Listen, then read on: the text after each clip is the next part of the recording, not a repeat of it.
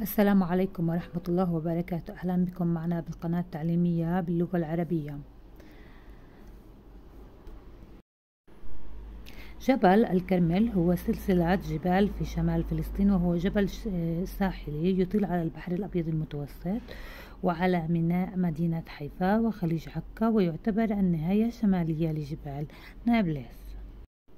يأخذ الجبل شكل مثلث رأسه في الشمال الغربي وقاعدته في الجنوب الشرقي وأعلى قمة فيه هي قمة عين الحايك ويبلغ ارتفاعه حوالي 600 متر ويقع جزء كبير من مدينة حيفا الحالية على جبل الكرمل وكذلك بعض القرى مثل جبع وأم الزنات وأجزام وأحراج الكرمل.